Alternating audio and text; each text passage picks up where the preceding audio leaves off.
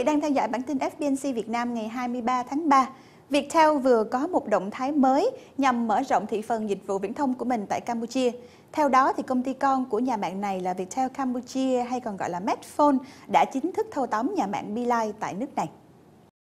Theo thông cáo của Beeline Campuchia, Viettel Campuchia hay còn gọi là Medphone đã mua lại giấy phép hệ thống trạm phát và cơ sở hạ tầng của công ty này. Giá trị của thương vụ thâu tóm hiện không được tiết lộ. Sau khi sắp nhập, người dùng Beeline Campuchia sẽ được lợi từ chất lượng dịch vụ tốt hơn của hệ thống mạng Medphone. Trong khi đó, thì Medphone sẽ tận dụng được hệ thống hạ tầng, tần số viễn thông, trạm phát sóng hiện có của Beeline. Hiện tại, Medphone là nhà mạng di động lớn nhất Campuchia với khoảng 9 triệu thuê bao. Trong khi đó, thì Beeline Campuchia là nhà mạng lớn thứ tư tại nước này với khoảng 500.000 thuê bao tính đến cuối năm 2013. Công viên phần mềm Quang Trung QTSC, nơi tập trung nhiều doanh nghiệp công nghệ thông tin nhất thành phố Hồ Chí Minh, tiếp tục có một năm hoạt động thuận lợi với giá trị xuất khẩu năm 2014 đạt hơn 98 triệu đô la. Đây là thông tin được ban lãnh đạo QTSC công bố tại buổi lễ kỷ niệm 14 năm thành lập diễn ra vào cuối tuần qua. Năm 2014, giá trị xuất khẩu của các doanh nghiệp tại công viên phần mềm Quang Trung QTSC đạt 98,4 triệu đô la Mỹ, tăng gần 39% so với cùng kỳ năm 2013. Các sản phẩm được xuất khẩu đến hơn 20 quốc gia, tập trung vào thị trường Mỹ, Nhật và châu Âu. Tính đến nay, QTSC đã thu hút được 33 nhà đầu tư với 40 dự án và 119 doanh nghiệp công nghệ thông tin được cấp phép.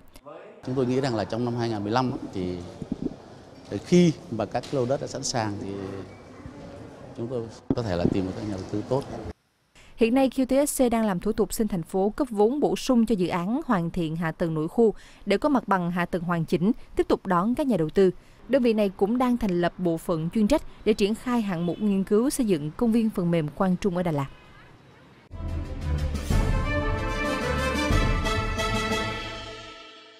Thưa quý vị, sáng ngày 19 tháng 3 vừa qua, Trung tâm xúc tiến thương mại và đầu tư đã phối hợp với Cục Thuế Thành phố Hồ Chí Minh tổ chức buổi đối thoại trực tiếp với doanh nghiệp nhằm tạo điều kiện cho doanh nghiệp bày tỏ những vướng mắc, giải đáp các vấn đề phát sinh trong quá trình thực hiện nghĩa vụ thuế cũng như cập nhật những thông tin về chính sách thuế mới sẽ được áp dụng trong năm 2015.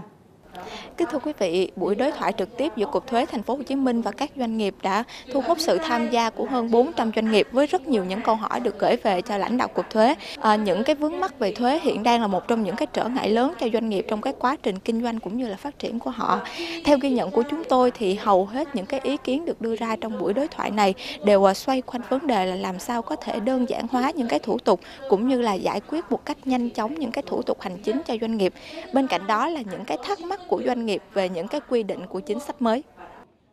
Liên quan đến quy định về thuế giá trị gia tăng đối với thức ăn chăn nuôi, từ đối tượng chịu thuế suất 5%, nay chuyển sang đối tượng không chịu thuế và có hiệu lực từ ngày 1 tháng 1 năm 2015. Đại diện công ty trách nhiệm hữu hạn thương mại sản xuất và dịch vụ toàn hóa đặt câu hỏi, công ty này có bán mặt hàng phụ gia thức ăn chăn nuôi, vậy họ phải dựa vào đâu để xác định xem những mặt hàng mình bán có thuộc đối tượng không chịu thuế hay không? Và lượng hàng hóa mà công ty này nhập từ năm 2014 đến nay vẫn còn tồn kho thì khi bán ra liệu họ có được khấu trừ thuế giá trị gia tăng hay không?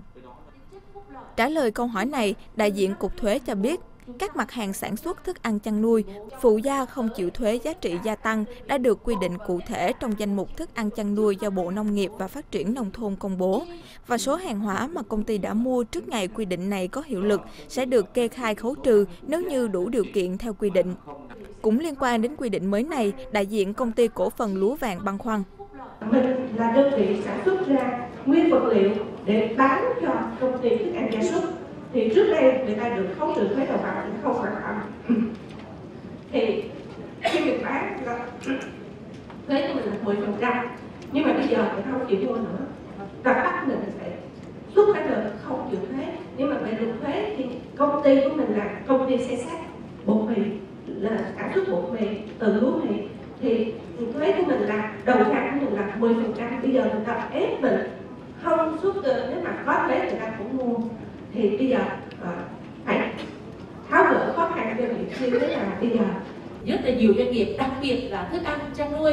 người ta chưa đồng tình bởi vì lý do đầu ra là không chịu thuế nhưng mà tất cả cái gì đầu vào không phải là không chịu thuế mà có những cái chịu thuế và không chịu thuế. Thì cái gì không chịu thuế thì được rồi nhưng có, cái những cái chịu thuế như là sản xuất thì phải có điện nước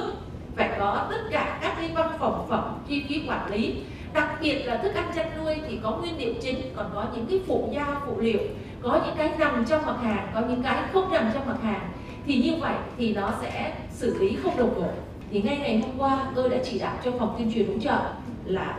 báo cáo và xin ý kiến tổng cục thuế và cục tài chính hướng xử lý như thế nào Ngoài ra, tại buổi đối thoại, đại diện các doanh nghiệp còn đặt ra những câu hỏi liên quan đến hồ sơ, thủ tục cần thiết để giải quyết thuế thu nhập cá nhân đối với người có thu nhập từ nước ngoài, việc hoàn thuế nhập khẩu, cũng như những khó khăn vướng mắt trong việc kê khai thuế qua mạng. Đặc biệt, nhiều doanh nghiệp phản ánh việc đăng ký giải thể doanh nghiệp hiện nay còn rất mất thời gian. Họ phải chờ đợi quá lâu để cơ quan thuế đến kiểm tra. Một số đơn vị phải chờ đợi từ 2 đến 3 năm mà vẫn chưa được giải quyết hồ sơ quyết toán thuế do cái áp lực nhiều công việc rồi nguồn nhân lực có cái giới hạn. Do đó chúng tôi cũng đã phải có chúng tôi thực hiện cái kế hoạch. Nhưng mà nếu như mà có để xảy ra cái tình trạng mà doanh nghiệp muốn giải thể mà hai ba năm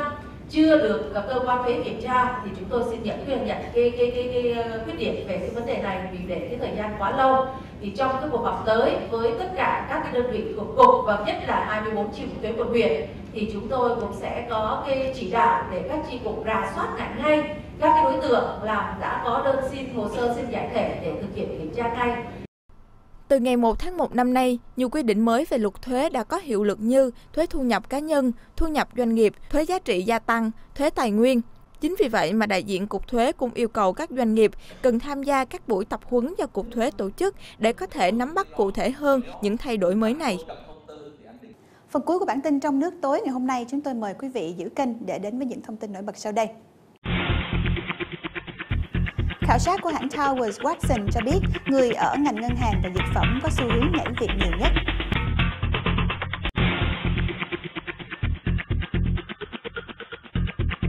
Ngành mía đường do đâu mà kém cạnh tranh?